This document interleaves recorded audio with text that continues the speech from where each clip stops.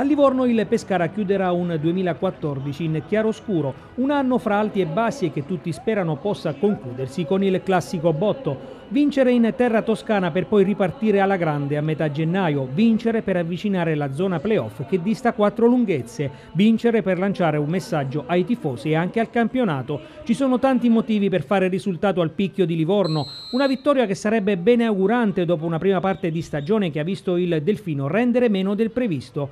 Il bilancio non può essere positivo, ma è anche vero che nelle prime 20 giornate sono state tante le avversità con infortuni a catena che hanno riguardato un po' tutti i giocatori della Rosa.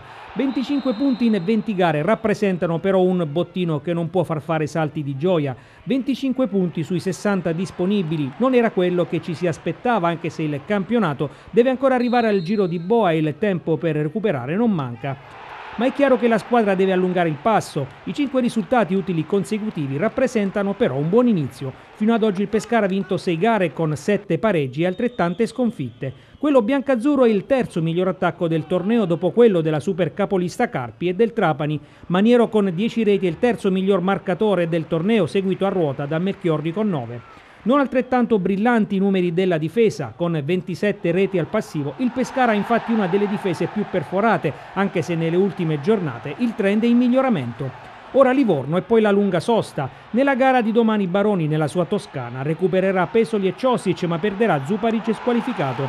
Probabile il ritorno dell'ex Carpi al centro della difesa con Salamon, con Brungban che dovrebbe invece tornare al posto di Selasi a centrocampo. Per il resto non sono previste grandi novità rispetto alla gara con il Varese nonostante si torni in campo dopo appena quattro giorni. Fra i labronici tornerà Ceccherini dopo la squalifica. Nel 4-3-3 di Gautieri dovrebbero trovare spazio gli ex biancazzurri Luci, Vantaggiato e Cutolo. Livorno-Pescara ore 18 sarà diretta da Abisso di Palermo alla prima con i biancazzurri.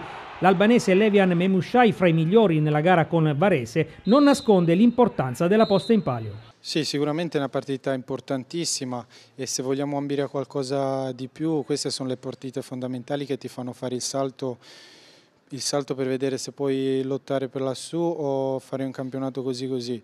È una partita importante dove bisogna prepararla bene, ci sono pochi giorni ma anche per loro hanno pochi giorni,